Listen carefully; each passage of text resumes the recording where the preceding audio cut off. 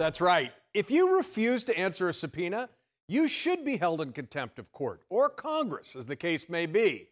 And that's why the January 6th Investigation Committee is 100% right to pursue criminal contempt charges against Steve Bannon. Look, one of the reasons we're in this mess is because the Trump administration withered the muscle memory around actually enforcing the law, often through obstruction, the OLC's council's opinions, and the general politicization of the DOJ. When confronted by congressional subpoenas for its inner circle, they stalled for time, essentially proving that delay can mean denial of justice. And all that's got to stop. Enforcing the law without fear or favor is the minimum that a return to normal requires. In other words, to defend our democracy, just follow the damn law. And this applies to issues big and small. That's why it's appropriate to see Trump required to give a deposition in an assault case involving his security team during a demonstration outside Trump Tower.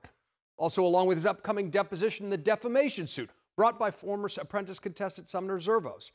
It's basic. No one's above the law.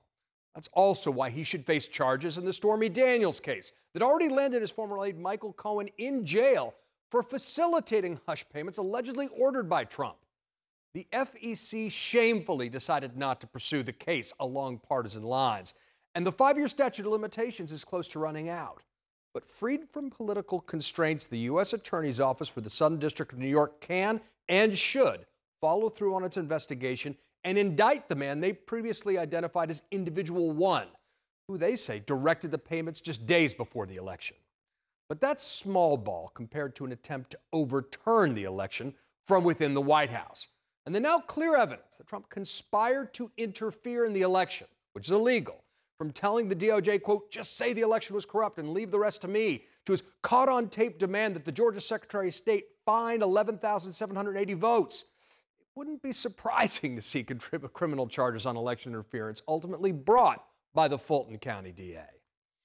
But the problem is there's been a strange reluctance to enforce basic codes of conduct, even those enshrined in the Constitution like the emoluments clause.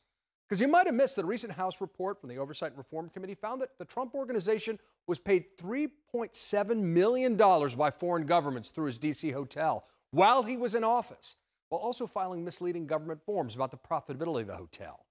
In addition, there's been silence from the DOJ on the clear case for obstruction of justice laid out by the Mueller report, but blocked by that OLC opinion that sitting presidents are immune from prosecution. But that can't shield him anymore.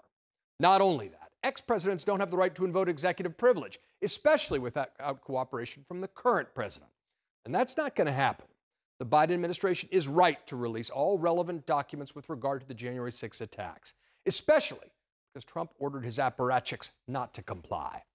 The rioters should be charged with what they did, not just obstruction of congressional proceedings, but violation of the Anti Riot Act and, in some cases, seditious conspiracy.